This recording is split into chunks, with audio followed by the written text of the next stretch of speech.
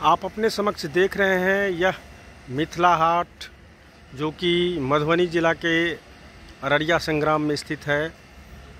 और ये सरोवर, जिस पर बोटिंग का आनंद उठाते हुए लोग, यहाँ पर मिथिला के धरोहर को दर्शाया गया है। मिथिला की संस्कृति काफ़ी प्राचीन है और उसी संस्कृति को सजो कर बनाया गया यह मिथिला हाट।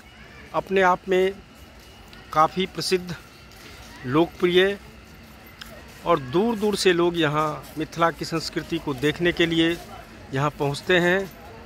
उसी क्रम में यह वीडियो बनाया गया है। धन्यवाद। Please like and subscribe my channel.